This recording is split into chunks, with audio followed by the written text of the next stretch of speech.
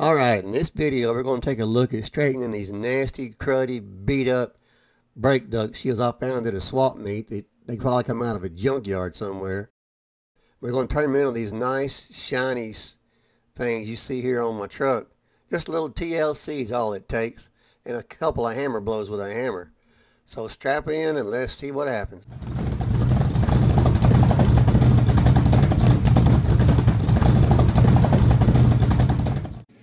These are the front backing plates for the disc brakes. Um, this one's not bent too bad, but it is bent. You can see, see here how it curls in.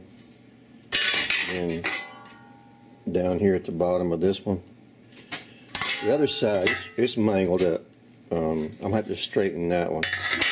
I'm not sure how good I can get it, but I can. I will straighten it enough to be able to use it because these are hard to find like on eBay or anything. So, um, let's do a little bit of metal work and see how this goes.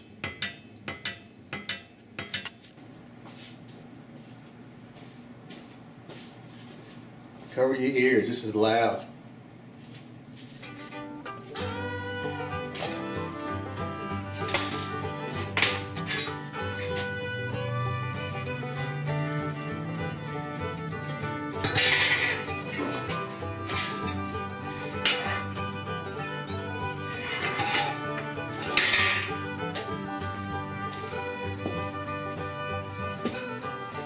Of body man's best friends, block wood.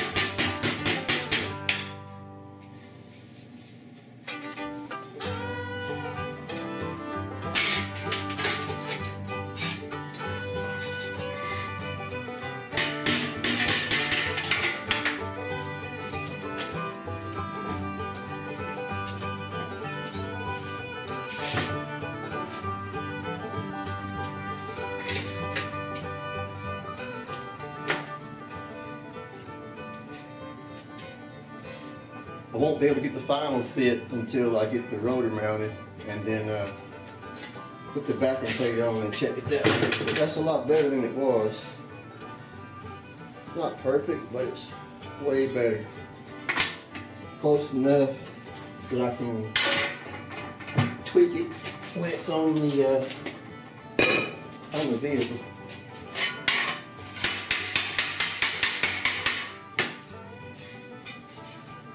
Straighten that duck a little bit.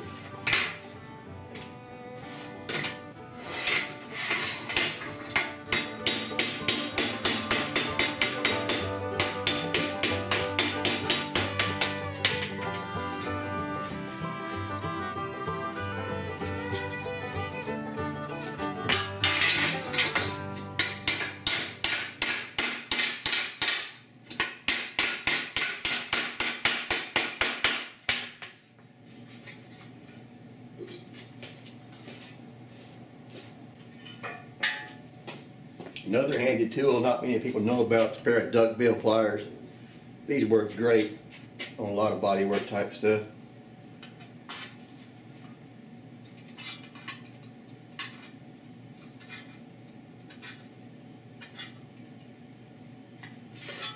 They don't crease and bend like a pair of regular pliers would or a pair of like channel locks would.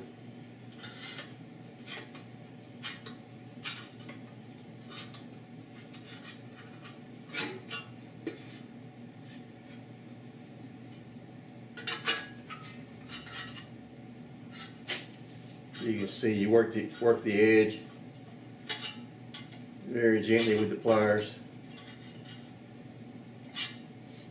And a little guard work, hammer work. In this case, the table is a dolly.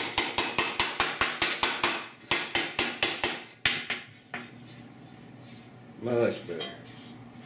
Not perfect, but much better. Skin right there.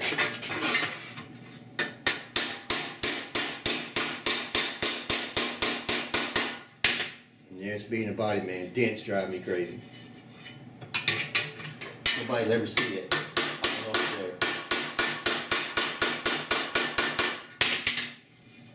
Right. One, one roughed in. Now we got the bad one to go. Ooh. Alright. This one's going to be way more worse. See. Gotta find a place to start and go at it.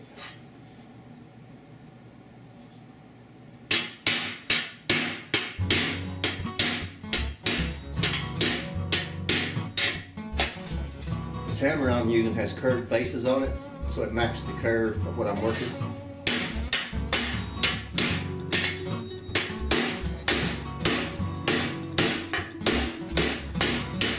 Specialized body hammer.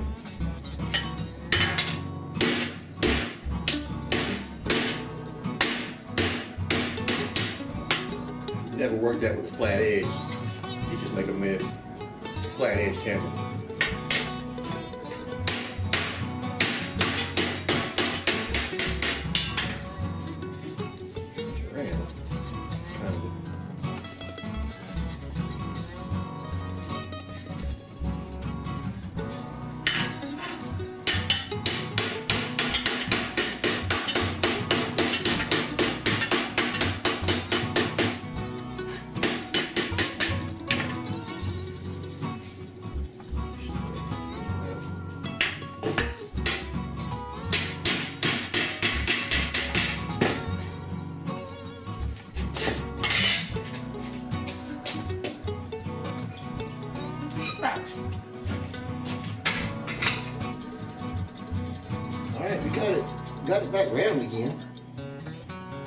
Still distorted real bad.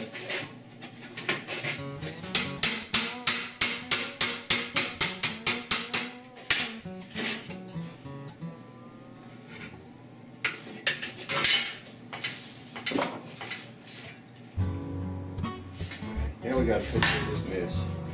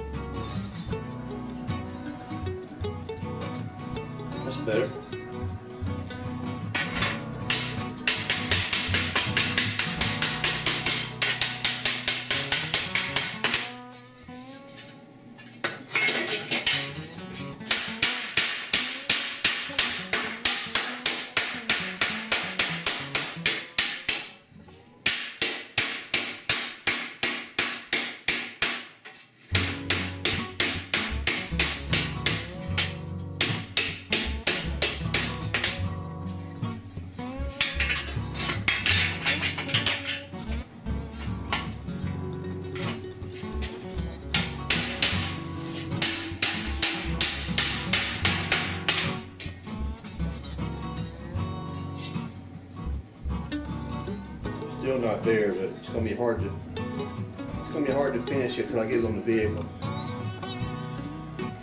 And, uh, tweak it to,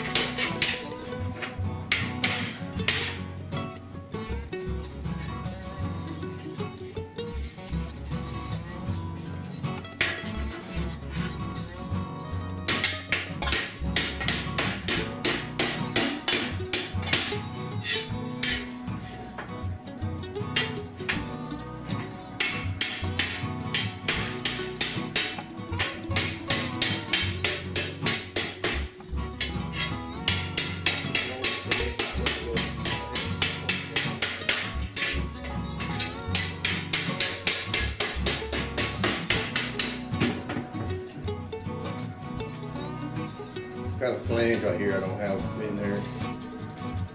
I may try to roll that back later with a hammer or dolly. That's that's not bad. That's not it's not perfect. But it's way better than it was. I don't know if you can tell. It's got some shape to it now. That big big dent's gone.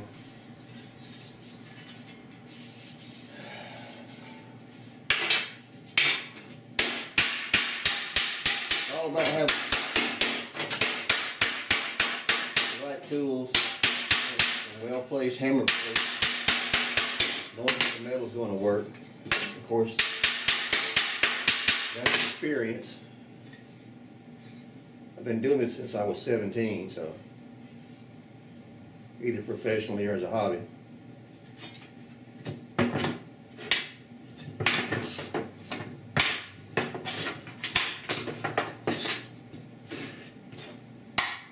Woo, I got it. I overdid that.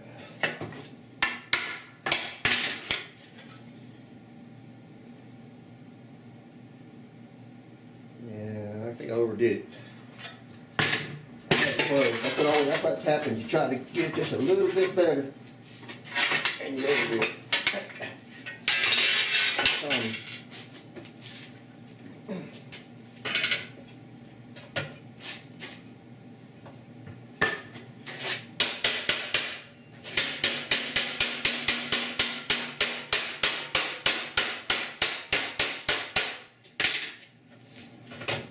That really close.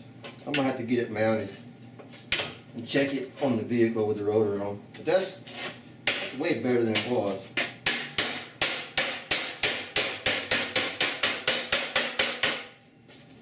Alright, I'm gonna call this done for now. Till I get it on the vehicle. So if you can see, um, we're, we're fairly, fairly straight. Hard to show that. It's not perfect. It's got a curve, in, a little bit of a curve in it. The big dent in the middle, took that out, flattened that out. It was right up here.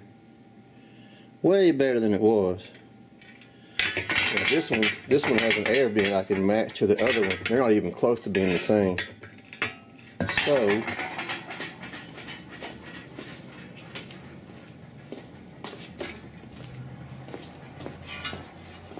Yeah, see, see how far that one is back in? One of these is right, more than likely. If I had to guess, it's this one because it looks less, it looks less bent. Uh, moving this one out to match that one's not going to be any problem.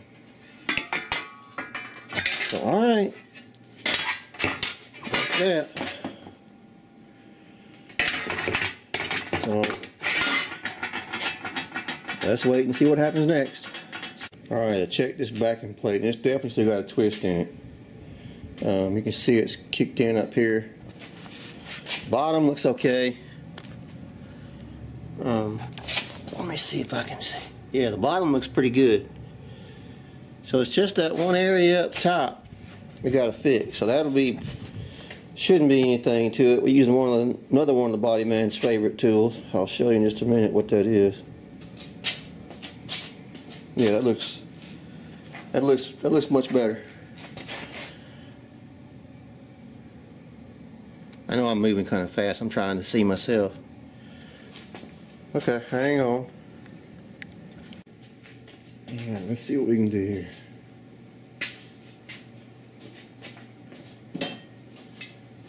As my dad would call them water pump wire, but it's crescent wrench. Big, big crescent wrench. Gotta be careful because you'll mar the metal, but uh, you're not gonna want to be stupid here. So I don't really want to park it against that stop because it'll scratch my paint. So no, I don't do um,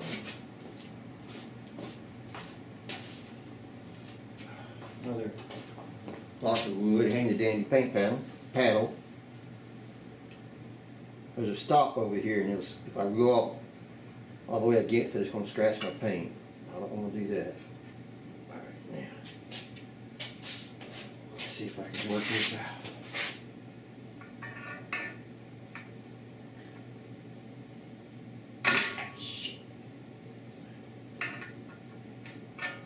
Could be a bit tricky, so might take a few tries. Tell you what, let's also cover the top of my bracket, caliper bracket.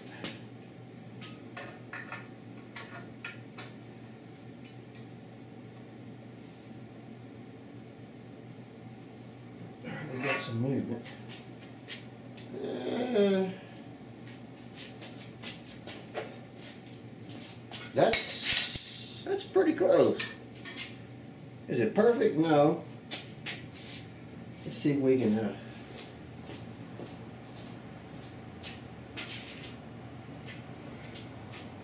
give it just a little more adjustment. Don't hit. Ouch, hit that one that time. Hit the other stop.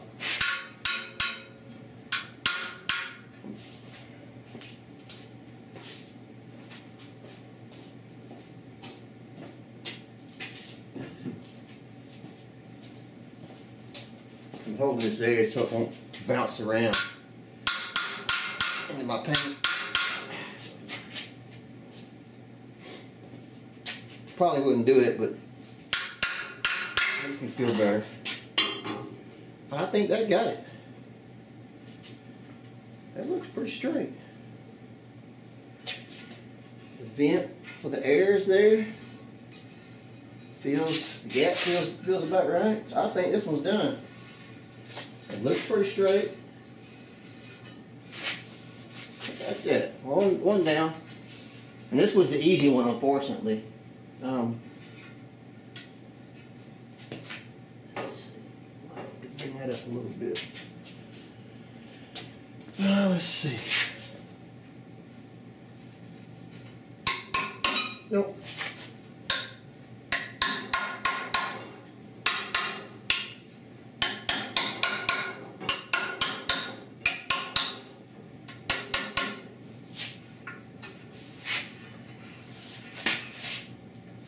I think that'll work. Way better than it was when I started. Alright, one down, and the worst one to go. Yeah. Here's that brake air deflector after it came out of the uh, electrolysis tank. It's ready for sandblasting. There's still a little bit of rust left under here, you can see. But it's nothing like it was when I started. I'll try and link a picture. I don't have a video of it. I'll try and link a picture or show a picture of what it was when I started. But that's way better than what it would have been if I had tried to sandblast it from scratch without doing the electrolysis first. This is so much better. I'm telling you guys, try electrolysis, you'll love it. Here, let's see. Here's that brake duct after I sandblasted it. Um, can after it came out of the electrolysis, you saw it. Now this is after sandblasting. No, the rust is gone. The paint's gone. It's it's clear. It's clean. It's ready to be primed and painted. Um, so electrolysis works, and sand, of course, sandblasting is a great thing too. Also, if you noticed, I'm wearing gloves, um, touching these this freshly sandblasted part. Never, ever, I don't ever touch a freshly sandblasted piece with my bare fingers. You get oil from your fingers on parts. Any of you painter people will know what I'm talking about. Um, you can do it and get away with it, but this it's just not a good thing. You'll get oil. It'll leave fingerprints. It, it just it's just not good. Painters don't do that. So just um, I just don't do that. I've got one set of gloves. These these thin Mechanix Wear gloves that I only use for painting stuff. I don't use them for anything else. Um, so I can't don't risk contamination from oil or silicone or anything would screw up your paint. So anyway, that's that. We priming later. Here's the second brake duct straight out of the uh, electrolysis tank. Um, you can see it's, I mean, it looks dirty, but it's the rust is, is 90, 99% gone. A little bit of surface still there. It's, it's extremely clean, way better than it was. Sandblasting this now is going to be no problem. This is the one that was bent up so bad. Um, it's not 100% straight, but I just checked it on the truck and it's pretty darn straight with the rotor, so it's it's good. Um, I think it'll work just fine. This is the one that was all beat up, the spot in the back where I had to straighten it right here. Um, this is not body work quality because I'm not going to, you know, metal work it or metal finish it or anything, but it's certainly good enough for what it's going to be. So one more trick I thought I'd show, and I didn't I didn't get grab the camera to take film of it. Uh, this is that uh, duct that was so bent. I had to do a little more straightening, dolly and dolly, hammer and dolly work, and then I lightly ground over it with some 80 grit um, to, to kind of you know take the highs and the lows. Um, it looks much better now. It's got a lot of pits in it, rust pits that if this was on the outside of a vehicle, I'd have to block this, fill it and probably block it to get it straight, to get it to look decent. Um, this is a brake duct. I, I, should do it, but I'm not going to. It'll be all right. Um, if this was a show truck, which is not, even though some people might not might disagree with me, I would uh, I'd have to fix it. But it's going to be okay for where it's at. It won't look that bad with, with primer on it. It'll be pitted, but you know, it's a brake duct um, down behind the wheel. Nobody's ever going to see it but me if I crawl up under it. Or dare say I ever put in a show and a judge looks under there. He'll see it. But other than that, um, one of the few times you probably ever hear me say it's good enough, but it's good enough. So thanks for looking in. I hope you like what you're seeing. I hope you enjoy what you're seeing. Uh, I hope you guys are learning something. So, uh, and if you like it, hit the subscribe button. I don't have any idea how many subscribers I'll get from doing this, but hey, it's worth a shot. So I will see you on the flip side.